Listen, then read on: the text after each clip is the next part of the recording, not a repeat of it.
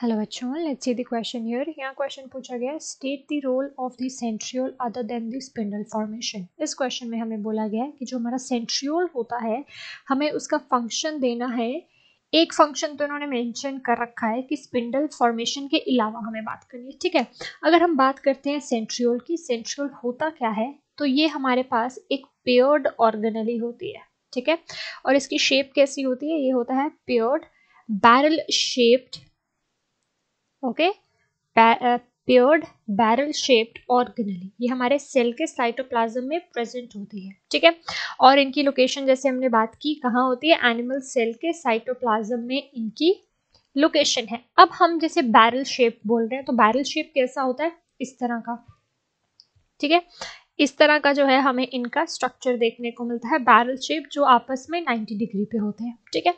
अब इनका रोल क्या है? अगर हम फ़ंक्शन की बात करें apart from the spindle formation तो इनका फ़ंक्शन देखा गया सबसे पहले in the organization of microtubule ठीक है?